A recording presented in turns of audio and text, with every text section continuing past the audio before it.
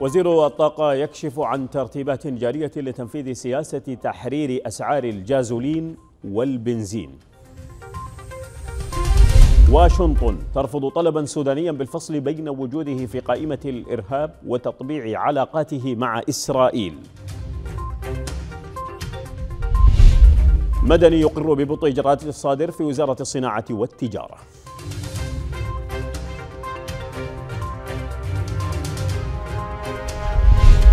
الجنيه يواصل استقراره أمام العملات الأجنبية في السوق الموازي.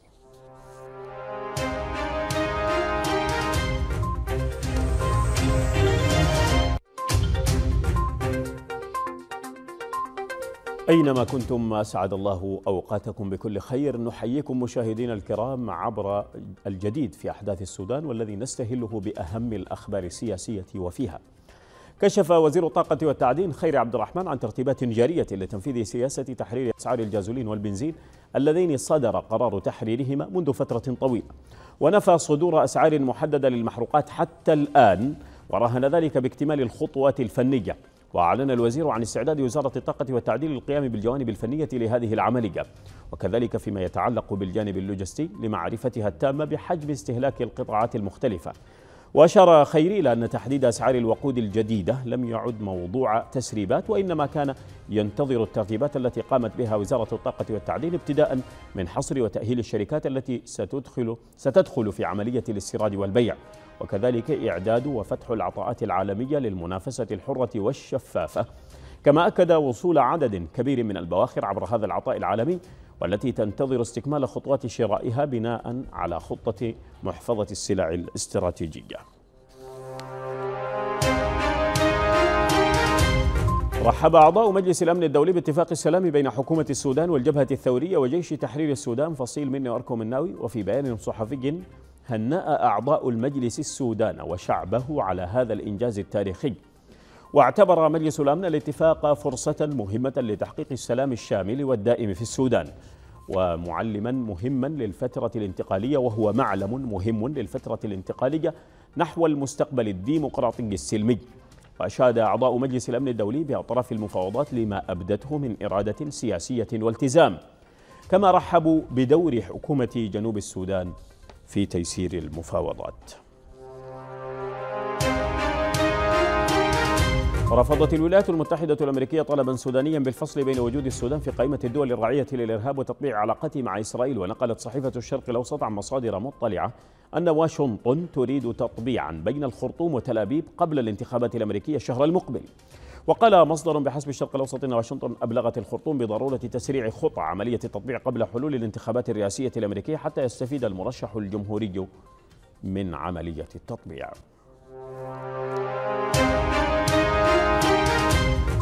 أكد وزير الخارجية عمر قمر الدين أن السودان طرف أصيل في ملف سد النهضة وليس وسيطا. وقال, وقال قمر الدين في مقابلة مع قناة فرنسا 24 أن الحكومة تفاوض في هذا الملف لأن للسودان مصالح. وأشار إلى أن السودان ليس لديه مصلحة في التعامل مع مصر أو إثيوبيا على انفراد. وعلى الرغم من توقيع إعلان للمبادئ بين السودان ومصر وإثيوبيا حول قضية السد إلا أن المفاوضات لم تسفر عن اتفاق منذ ذلك الحين. دعا النائب الأول لرئيس مجلس السيادة الانتقالية الفريق أول محمد حمدان دقلو حميتي إلى فرض هيبة الدولة وبسط سيطرتها على الأراضي. وذلك لتمكينها من تفعيل عملية الاستثمار قال في ورشة أزمة صادر صادرات الماشية وخارطة الحلول. قال إن الاستثمار يتطلب حماية المستثمرين من تغول أصحاب الحيازات. وأوضح أن التحديات التي تواجه قطاع الصادر تتمثل في ضعف البنية التحتية. وزاد أن الدولة مسؤولة عن 85 من المشكلات 85% من المشكلات في قطاع الصادر. وأشار إلى أن الدولة ستعمل على معالجة وإصلاح البنى التحتية. ودعا إلى تلبية وحل الاشتراطات التي تطلبها السعودية لصادر المواشي السودانية الذي يمثل أكبر سوق لصادرات الماشيه وصلت الخرطوم طائرة مساعدات لمتأثري السيول والفيضانات مقدمة من مكتب الاتحاد الأوروبي لحماية المدنية. وقال وكيل وزارة العمل والتنمية الاجتماعية محمد الشابك الذي كان في استقبال المساعدات إن هذا الدعم وحجمه 120 طنا. سيخصص لدعم أربع ولايات هي نهر النيل سنار وولاية الخرطوم والجزيرة. وعرب عن تقديره للدعم الذي يقدمه الاتحاد الأوروبي ومنظمة رعاية الطفولة العالمية للسودان. نفت حركة العدل والمساواة أن تكون طالبت بإطلاق قيادات نظام الثلاثين من يونيو. وقالت الحركة في تعميم صحفي ممهور بتوقيع أمين الإعلام الناطق الرسمي معتصم أحمد صالح. قالت إن ما نسب لرئيس الحركة في هذا الشأن ليس صحيحا واعتبرتها محاولة للنيل من الحركة وقياداتها. وأشارت إلى أن رئيس الحركة جبريل إبراهيم لم يصرح لأي جهة بشأن لجنة إزالة التمكين أو محاكمة رموز النظام السابق مطلقاً. في ولاية النيل الأزرق أعلنت قيادات نسوية ترحيبهن باتفاقية السلام بين الحكومة السودانية وحركات الكفاح المسلح وطالبنا بالمحافظة على المكاسب التي حققتها الاتفاقية خاصة استصحابها لقضايا وهموم المرأة والشباب. وفي استطلاعات اللسونة وصفت قيادات نسوية في ولاية النيل الأزرق السلام بأنه أمنية وآمال المشردين والنازحين واللاجئين الذين عانوا من ويلات الحرب وتجرعوا مراراتها. وأكدنا أن السلام يعتبر الأساس والمرتكز لبناء الدولة المدنية. في ولاية القضارف امتدح والي الولاية دكتور سليمان علي محمد موسى الدور الكبير الذي تطلع به الشرطة والقوات النظامية الأخرى في تأمين المواطنين وممتلكاتهم. ووقف الوالي برئاسة القسم الأوسط على جاهزية غرفة عمليات الطواف الليلي في بلدية القضارف بينما كانت القوات تستعد للانتشار. كما دعا القوات لبذل مزيد من الجهود والتنسيق المشترك من أجل تأمين بلدية القضارف وحسم الظواهر السالبة والمتفلتين. وأشار إلى أنه من أولويات الحكومة الحفاظ على سلامة وأمن المواطنين.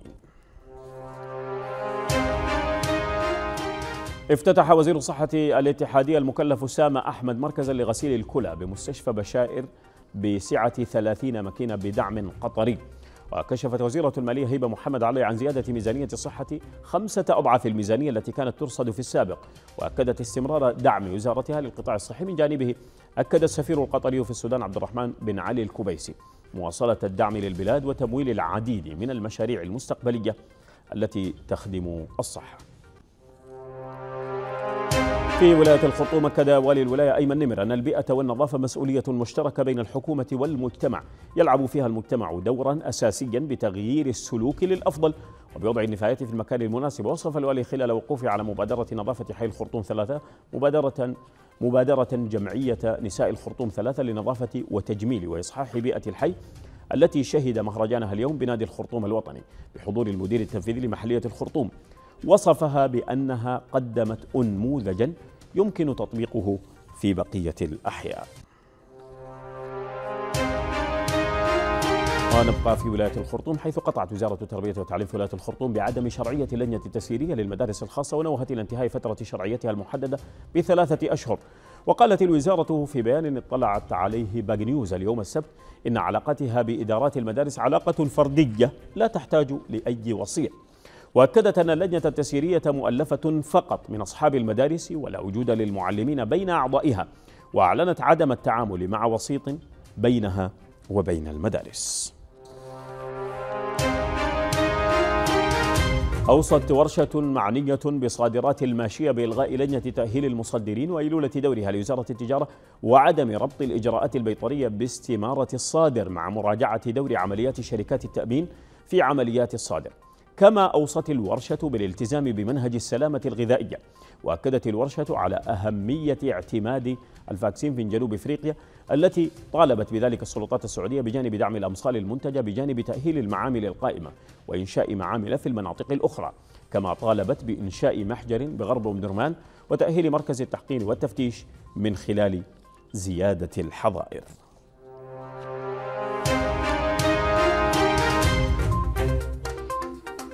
فاصل قصير مشاهدينا ننتقل بعده إلى أهم الأخبار الاقتصادية.